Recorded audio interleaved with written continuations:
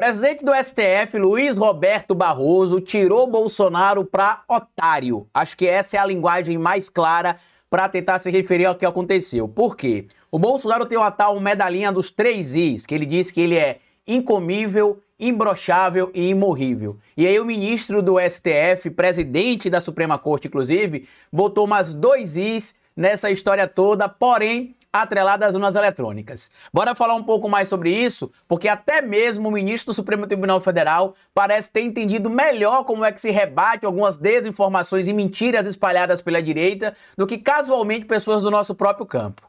Bora pro vídeo.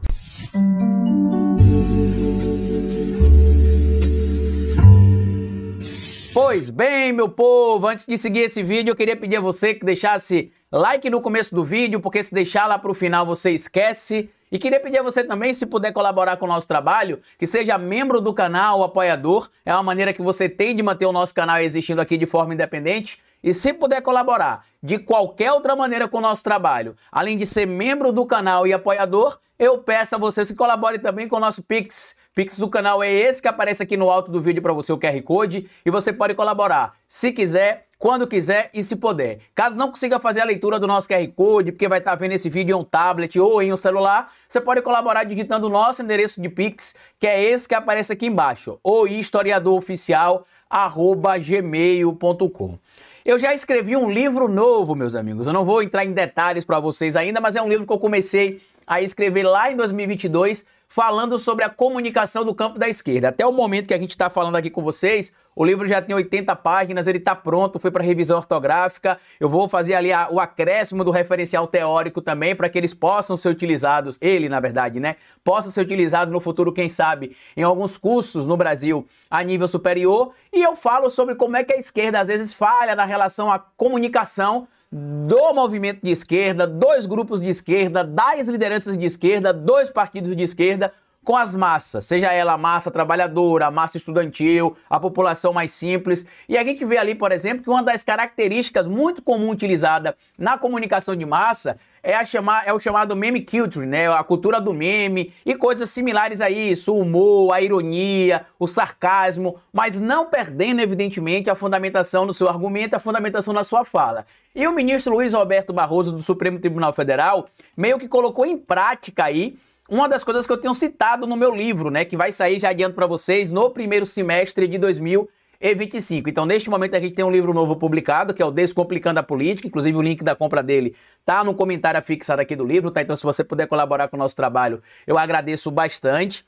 E você vai comprar, no início de 2025, o nosso livro para falar sobre as falhas da comunicação no campo da esquerda e como eu acredito que a gente consegue reverter isso. Porque muita gente me questiona dizendo que eu reclamo, reclamo, reclamo mas não aponto soluções. Quando na verdade eu sempre aponto soluções, mas lamentavelmente algumas pessoas não entendem o que eu estou falando, ou às vezes levam para um ponto de vista diferente do que eu estou falando. Então agora eu não só falei, como eu escrevi sobre o que é que está acontecendo, quais são as falhas e quais as soluções, e cito inclusive exemplos de sucesso.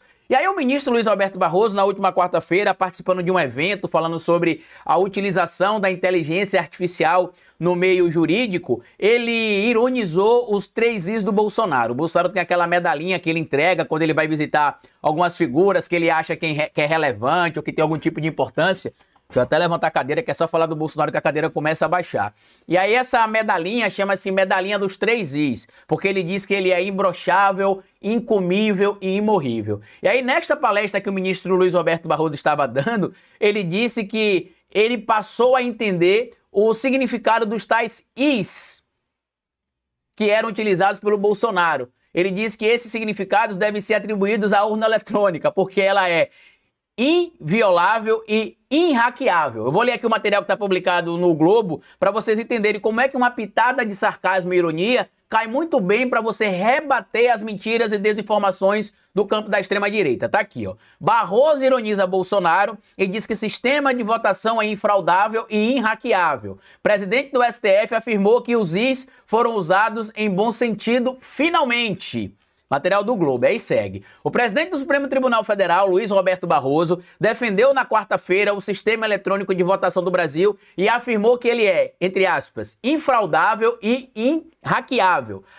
Barroso ironizou o ex-presidente Jair Bolsonaro, crítico das urnas, e que ele fala, inclusive, com frequência sobre os, tais, os tais três Is. No caso do Bolsonaro, ele diz que ele é imorrível, imbrochável e incomível. E criou a tal medalha dos três Is, que entrega, inclusive, alguns aliados, entre eles o Pablo Massal, o Javier Milei e alguns empresários amigos ali do Jair Bolsonaro. Barroso falou sobre as urnas eletrônicas durante uma palestra sobre o uso de inteligência artificial no judiciário e citou o sistema eletrônico como um dos feitos do Tribunal Superior Eleitoral. Segue as palavras do ministro Luiz Roberto Barroso. Aquele sistema jamais, ou seja, em hipótese alguma, entra online. É inserido em cada uma das 500 mil urnas eletrônicas um pendrive, portanto, é um sistema inhackeável, ele é infraudável, ele é inhackeável. Para a gente usar os IS com um bom sentido, finalmente. Barroso presidiu o TSE em 2021 quando Bolsonaro passou a fazer reiterados ataques sem provas às urnas eletrônicas e na época os dois trocaram farpas publicamente por diversas vezes. O que é que me chama a atenção em toda essa história aqui, meus amigos? É que como às vezes uma fala ou uma frase bem simples, mas colocada no, lo no local certo ali da maneira correta, traz todo um sentido. O ministro foi irônico com os tais três Is.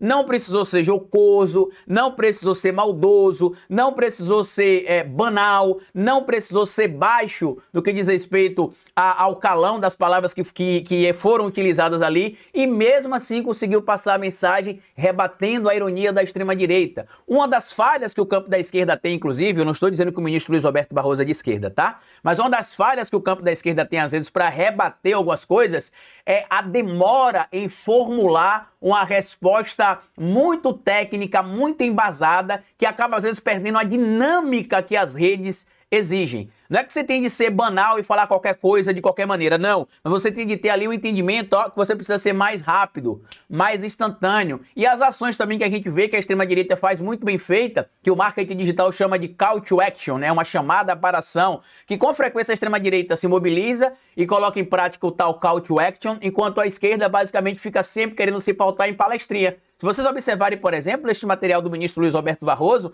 pautou a mídia, tanto na quarta noite quanto na quinta. Vários veículos da mídia brasileira citaram a ironia do ministro Luiz Roberto Barroso em citar os três Is do Bolsonaro, que ele utiliza como imbrochável, incomível, imorrível, e o ministro diz que o correto para ser usado de maneira correta os Is, ele é a, a, a explicação dos Is seria infraudável e inhackeável.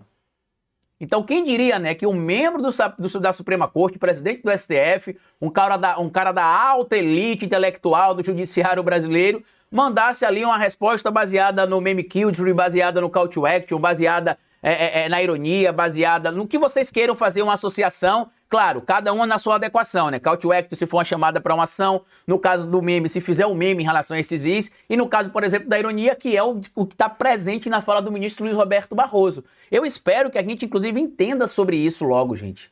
Acho que a gente já passou do ponto de entender que a esquerda precisa não é que é banalizar o discurso ou tornar o discurso simplista sem significado. Mas é o contrário, é simplificar o discurso sem ser simplista e entender as dinâmicas de como a comunicação precisa ser feita. Porque senão a gente vai ficar para trás realmente. O meu próximo livro, ainda estou na dúvida como é que vai se chamar. Inicialmente eu ia chamar ele de A Esquerda Analógica na Era Digital, mas eu estou pensando em chamar de A Revolução Não Será Analógica. E aí vai ter um subtítulo. Eu queria até a opinião de vocês aqui sobre o que é que vocês acham disso aqui. Inclusive já adianto para quem é membro e apoiador do canal, tem alguns membros do canal que já sabem que eu escrevi esse livro, que eu já mandei para alguns membros lerem também, tá?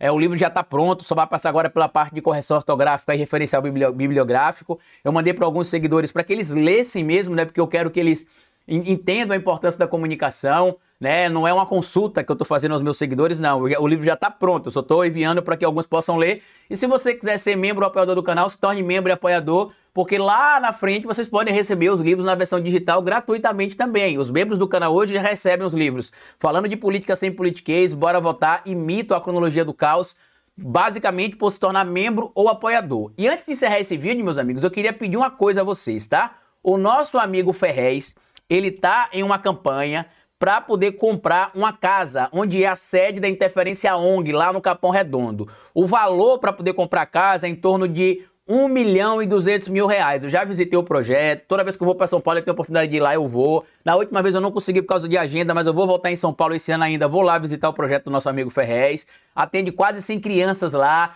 tá dentro da comunidade, formando crianças, formando mentes pensantes, formando mentes críticas, jovens que terão consciência de classe, que terão consciência política e que farão a diferença na vida de outras pessoas. Então o Ferrez começou essa campanha aqui para a gente arrecadar 1 milhão e 200 mil reais. Até este momento já tem 42 mil reais e 510, né? Então vamos se mobilizar, vamos lá ajudar o nosso amigo. O link para você colaborar vai estar tá aqui no comentário fixado e vai estar tá escrito assim, ó, link do apoia-se ou da campanha do Ferrez. Então colabora lá que você ajudando o Ferrez é a mesma coisa que você está ajudando a mim também, porque é um cara que busca fazer a diferença, assim como a gente faz aqui, tá bom? Tudo que eu falei para você está aqui no comentário fixado, compartilhe o vídeo, se inscreva no nosso canal e deixa like. E como eu sempre digo para vocês aqui no final de cada vídeo, é melhor escrever errado a coisa certa do que escrever certo a coisa errada. Patativa do Assaré. Até o nosso próximo vídeo.